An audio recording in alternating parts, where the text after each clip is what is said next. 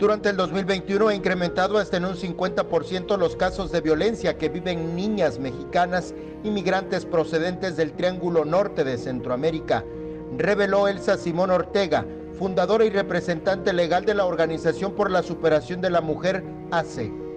Según los registros expuestos el año pasado, se registraron 60 casos de abusos y violaciones sexuales a niñas.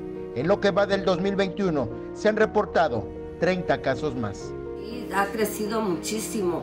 Eh, tenemos un 20% más que el, año pasado.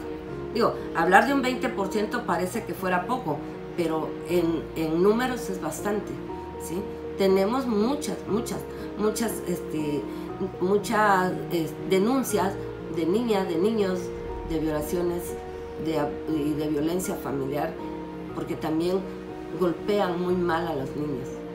Hay niños abandonados, ¿sí? niñas abandonadas.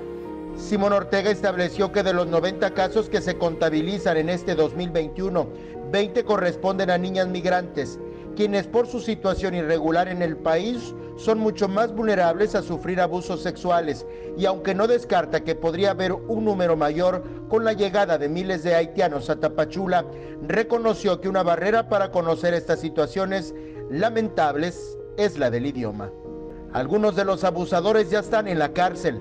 Sin embargo, las leyes estipuladas desde 2012 para atender la violencia física y sexual contra niños, niñas y adolescentes sigue siendo carente. Tenemos una, una ley publicada de niñas, niños, adolescentes del 2012. Sin recurso es puro discurso.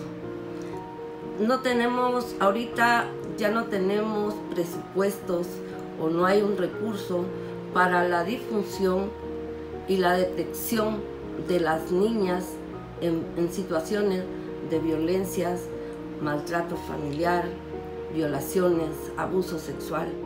Enfatizó que existen muchas deficiencias en el tema de atención de niños, niñas y adolescentes y lamentó que en los hospitales no se aplica la norma 046 que estipula una atención inmediata a los niños víctimas de violencia, ya que existe desabasto de medicamentos o bien se lo aplican de manera tardía poniendo en riesgo la vida de los mismos. ¿De qué sirve que el día, el día Internacional de la Niña y se festeja a las niñas, pero tenemos deficiencias todavía en el tema de las niñas?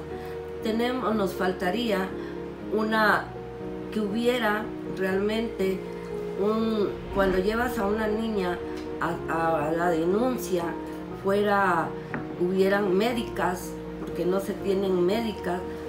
La fiscalía carece de médicas eh, diarias porque tenemos que esperarnos cuando entra de guardia una médica. Tenemos que estar esperando en el hospital que se le pueda atender de acuerdo a la norma 046, porque a veces hay que esperar que, que los medicamentos todavía los, los resguardan no están eh, inmediatos. Eso todavía tenemos muchas deficiencias para atender a las niñas. Con información de César Solís, Alerta Chiapas.